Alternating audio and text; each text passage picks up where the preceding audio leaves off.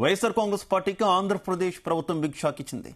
తాడేపల్లిలో కొత్తగా నిర్మిస్తున్న వైసీపీ కార్యాలయాన్ని కూల్చివేస్తుంది. ఈ మేరకు సిఆర్డీఏ ప్రొసీడింగ్స్ ఇచ్చింది. తెల్లవారుజామున ఐదు గంటల ముప్పై నిమిషాల నుంచి ప్రొక్లైనర్లు బుల్డోజర్లతో భవనాన్ని కూల్చివేస్తున్నారు. కూల్చివేత పనులు కొనసాగుతున్నాయి. ప్రభుత్వ చర్యపై వైసీపీ మండిపడుతోంది.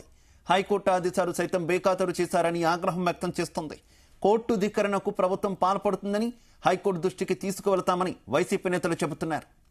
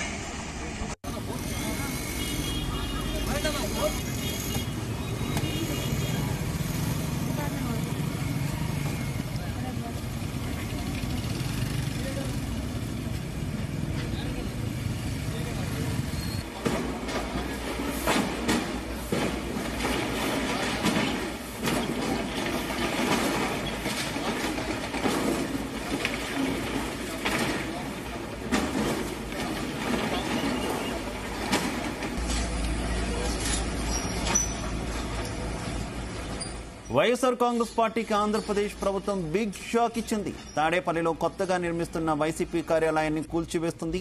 ఈ మేరకు సిఆర్డీఏ ప్రొసీడింగ్స్ ఇచ్చింది. తెల్లవారుజామున ఐదు గంటల ముప్పై నిమిషాల నుంచి ప్రొక్లైనర్లు బుల్డోజర్లతో భవనాన్ని కూల్చివేస్తున్నారు.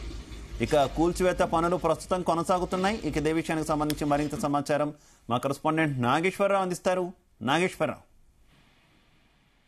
ఆంధ్రప్రదేశ్ ఆంధ్రప్రదేశ్లో నూతన ప్రభుత్వం అయిన ఎన్డీఏ గవర్నమెంట్ మరొక సంచలన సంచలన నిర్ణయం తీసుకుంది. ఇది వైఎస్ఆర్ సిపికి బిగ్ అని చెప్పుకోవచ్చు. ఇది కోలుకోలేని దెబ్బ అని కూడా చెప్పుకోవచ్చు.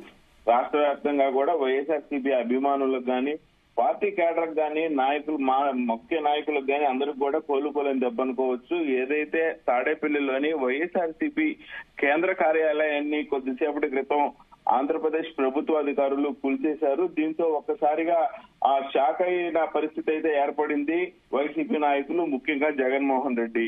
అయితే గత కొద్ది రోజులుగా కూడా టీడీపీ ప్రభుత్వం అధికారంలోకి వచ్చిన రోజు నుంచి కూడా ఆ ఏదైతే వైఎస్ఆర్సీపీ పార్టీ కార్యాలయం ఉందో వైఎస్ఆర్సీపీ పార్టీ కార్యాలయానికి సంబంధించి కూడా ఆ చర్చ జరుగుతా ఉంది. వైఎస్ఆర్సీపీ పార్టీ కార్యాలయం ఎందుకని ఆ ప్రభుత్వ స్థలంలో కట్టారు? ప్రభుత్వ పూర్తి అనుమతులు తీసుకోకుండా ఎందుకు కట్టారనే దాని మీద చర్చ జరుగుతా ఉంది. ఈ చర్చ జరుగుతున్న నేపథ్యంలోనే ఆ వైఎస్ఆర్సీపీ నాయకులు కోర్టును ఆశ్రయించిన పరిస్థితి అయితే ఉంది. ఏదైతే ఆ సిఆర్డీఏ కమిషనర్కు హైకోర్టు ఆదేశాలు ఇచ్చిన తర్వాత మాత్రమే సిఆర్టీఐ కూల్చివేత ప్రారంభించింది. అయితే హైకోర్టుకి సంబంధించి తాము న్యాయంగా కట్టడాలు జరుపుతున్నామని దానికి సంబంధించి ఆ కూల్చివేతకు మాత్రం ఎట్టి పరిస్థితులు అనుమతి ఇద్దని కూడా ఆ వైఎస్ఆర్సీపీ ప్రభు ఆ గవర్నమెంట్ హైకోర్టును ఆశ్రయించిన పరిస్థితి అయితే ఉంది.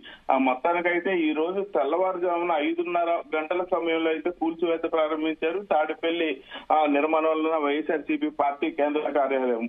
అయితే ఈ నేపథ్యంలోనే ప్రొక్రైన్లు బుల్డోజర్తో ఆ భవనం కూల్చివేతకైతే ఆ రంగంలో దిగారు అధికారులు. తెల్లవారున ఐదున్నర నుంచి ఆ కూల్చివేత మొదలు పెట్టగా దాదాపుగా ఈ టయానికి పూర్తయిన పరిస్థితి అయితే అయిపోయింది కూల్చివేయటంలో. దీనికి సంబంధించి వైఎస్ఆర్సీపీ పార్టీ ఆ నాయకులు కార్యకర్తలకి ఇంకా సమాచారం తెలియని పరిస్థితి అయితే ఉంది. సమాచారం తెలిసిన నేపథ్యంలో ఖచ్చితంగా ఆగమేఘాల మీద అందరూ పార్టీ కార్యాలయం దగ్గరకు వచ్చే పరిస్థితి ఉంది. నిన్న ఏదైతే జగన్మోహన్ రెడ్డి ఆ అసెంబ్లీ సమావేశాలకు వచ్చినప్పుడు కూడా ఆ పరిసర ప్రాంతాల్లో భారీగా వై- వైఎస్ఆర్సీపీ పార్టీ నాయకులు కేడర్ మొత్తం కూడా ఆ జగన్మోహన్ రెడ్డికి సపోర్ట్గా సంఘీభావంగా అసెంబ్లీ దగ్గరకు వచ్చిన దాఖలాలు కూడా చూసాం. జగన్ మావయ్య జగన్ మావయ్య అంటూ అసెంబ్లీలోకి వెళ్ళే సమయంలో పెద్ద ఎత్తున కార్యకర్తలు నాయకులు కూడా అందరూ సపోర్ట్ చేసి ఆయనకి సంఘీభావంగా ఉన్న విషయం తెలిసింది. అయితే ఆ నేడు ఇలాంటి వైఎస్ఆర్సీపీ పార్టీ కార్యాలయాన్ని పూర్తి చేస్తున్నారని తెలిస్తే ఆ చుట్టుపక్కల పరిసర ప్రాంతాల్లో దాదాపు గుంటూరు కృష్ణా జిల్లాల మధ్యలో ఉన్న నేపథ్యంలో ఆ పార్టీ కేంద్ర కార్యాలయం రెండు జిల్లాల నుంచి అయితే ఆ భారీ సంఖ్యలో వాళ్ళు హాజరయ్యే పరిస్థితి పరిస్థితి అయితే ఉంది.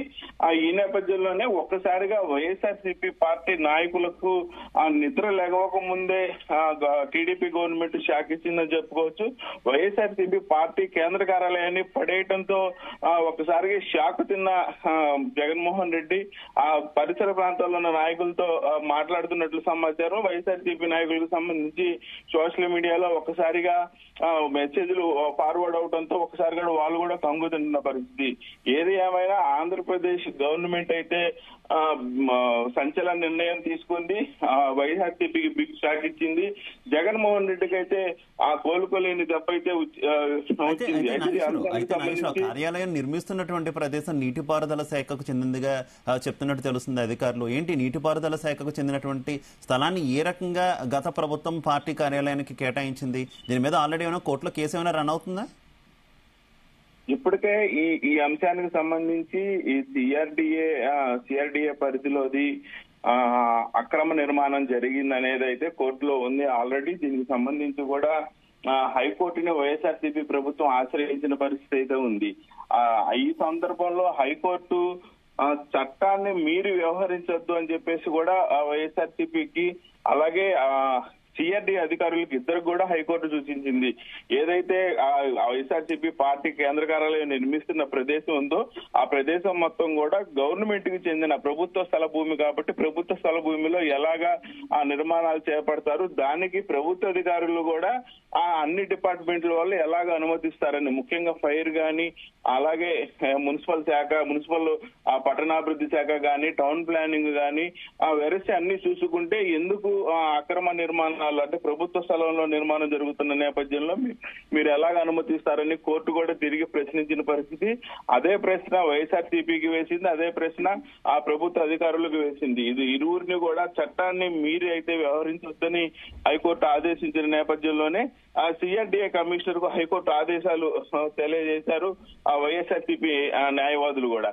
అయితే ప్రస్తుతానికైతే హైకోర్టు ఆదేశాలను బేఖాతరు చేస్తూ వైఎస్ఆర్సీపీ కార్యాలయ భవనాన్ని కూర్చివేశారంటున్న వైఎస్ఆర్సీపీ ఆ పార్టీ నాయకులు. అయితే కోర్టు ధిక్కరణకు పాల్పడ్డారని హైకోర్టు దృష్టికి తీసుకెళ్తామంటున్నారు వైఎస్ఆర్సీపీ పార్టీ నాయకులు కార్యకర్తలు. అయితే ఇప్పటికే ఆల్మోస్ట్ సేవ వైఎస్ఆర్సీపీ కేంద్ర కార్యాలయం ఆ మొత్తం కూడా నేలమట్టమైన పరిస్థితి. అక్కడ ఎవరు కూడా తెల్లవారుజామున ఐదున్నర అయ్యేపాటికి ఎవరు? వైఎస్ఆర్సీపీ పార్టీకి చెందిన నాయకులు ఎవరు కూడా పరిస్థితి ప్రాంతాలకు చేరుకోలేని పరిస్థితి. ఆ గత ప్రభుత్వ హయాంలో కూడా సేమ్ ఇలాగనే ఆ పదకొండు పదిహేడు రోజుల మధ్యలో ఆ, ఏదైతే ప్రజా దర్బార్ అని ఆ, ప్రజావేదిక అని చంద్రబాబు నాయుడు ఆ, తన ఇంటి ముందు ఉండవల్లిలోని తన క్యాంపు కార్యాలయం ముందు ఆ ప్రజా ఆ వేదికని వేదికని నిర్మించారు. ఎవరైనా సరే జిల్లా ఆ, రాష్ట్ర వ్యాప్తంగా కూడా ప్రజలందరూ ఆ ప్రజా వేదిక దగ్గరకు వచ్చి ఆ సమస్యలు వెళ్ళ వెళ్ళమించుకుంటున్న పరిస్థితి అయితే ఉంది. అలాంటి ప్రజావేదికని ఆ, వైఎస్ఆర్సీపీ పార్టీ అధికారంలోకి రాగానే ఆ నాలుగు రోజుల నుంచి ఐదు రోజులు పది రోజులు ఆ మొత్తానికైతే పది రోజుల లోపే ఆ ప్రజావేదికను అయితే వైఎస్ఆర్సీపీ పార్టీ కూల్ చేసిన పరిస్థితి ఉంది. సేమ్ ఇప్పుడు కూడా అలాగే ఆ ప్రభుత్వ స్థలంలో ఎలాగా వైఎస్ఆర్సీపీ కేంద్ర కార్యాలయం కడతారనుకు కూడా ఆ ఎన్డీఏ గవర్నమెంట్ తిరిగి సేమ్ అలాగే ఆ రిటర్న్ గిఫ్ట్ జగన్కి ఇచ్చిందనుకోవచ్చు. వాళ్ళు అప్పుడు పగల ప్రజావేదికను కూల్చేశారు. ఇప్పుడు వీళ్ళు ప్రభుత్వ ఆ స్థలంలో ఎలాగ కడతారని చెప్పేసి వీళ్ళు కూడా ఆ వైఎస్ఆర్సీపీ కేంద్ర కార్యాలయాన్ని కూల్చేసి జగన్కి రిటర్న్ గిఫ్ట్ అయితే ఇచ్చారనుకుంటున్నారు Siva. Okay. Okay Nageswararao. Thank you